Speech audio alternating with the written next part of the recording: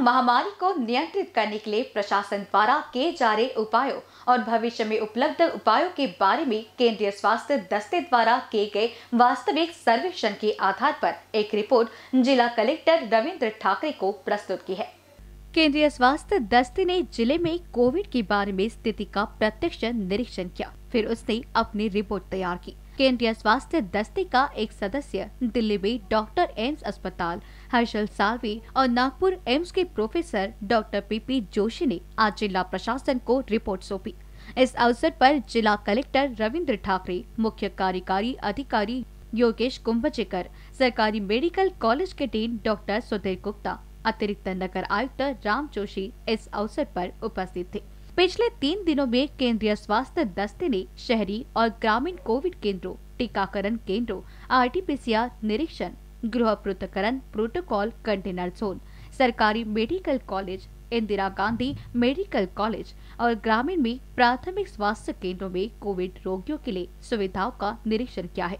क्षेत्रों, ज़िले में कोविड नियंत्रण के लिए जाँच पर विशेष ज़ोर दिया गया है और बड़ी संख्या में कोविड रोगियों का पता लगाया जा रहा है। जिन क्षेत्रों में बड़ी संख्या में कोविड रोगी पाए गए हैं। केंद्रीय टीम ने ऐसे क्षेत्रों में सूक्ष्म नियंत्रण क्षेत्रों के निर्माण को विशेष प्राथमिकता देने की सिफारिश की है।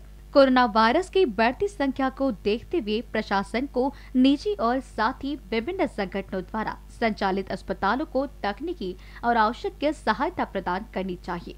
नागपुर शहर में चिकित्सा सुविधा बढ़ाने के लिए प्राथमिकता दी जानी चाहिए। कोविड के चेक के बारे में जानकारी आईसीएमआर पोर्टल पर प्रतिदिन भरी जानी चाहिए। यह जानकारी नियमित रूप से अपडेट की जानी चाहिए। इसके अलावा अलगाव बेड की संख्या बढ़ाई जानी चाहिए।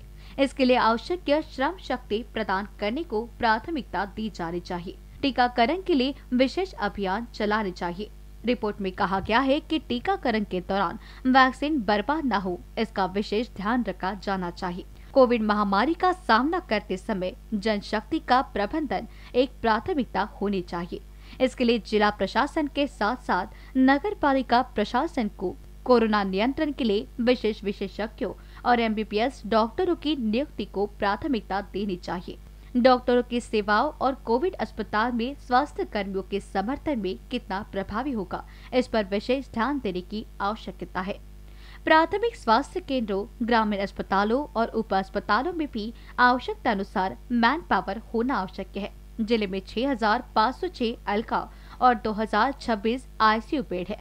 बेड पर ऑक्सीजन की आपूर्ति के लिए केंद्रीय स्वास्थ्य दस्ते द्वारा भी प्रशासन को निर्देश दिया गया है। प्रारंभ में जिला कलेक्टर ठाकरे ने कहा कि कोरोना के बढ़ते प्रभाव को देखते हुए जिला प्रशासन ने बढ़ती स्वास्थ्य सुविधाओं को प्राथमिकता दी है। ज़िले में मरीजों की संख्या और उपलब्ध बिस्तरों की संख्या को देखते हुए कुछ मरीजों का इलाज सुपर स्पेशलिटी अस्पताल अमरावती में किया गया है। ठाकरे ने ये भी कहा कि केंद्रीय स्वास्थ्य दस्ते द्वारा दिए गए निर्देशों के अनुसार इसे बढ़ाने के लिए आवश्यक के बदलाव किए जाएँगे।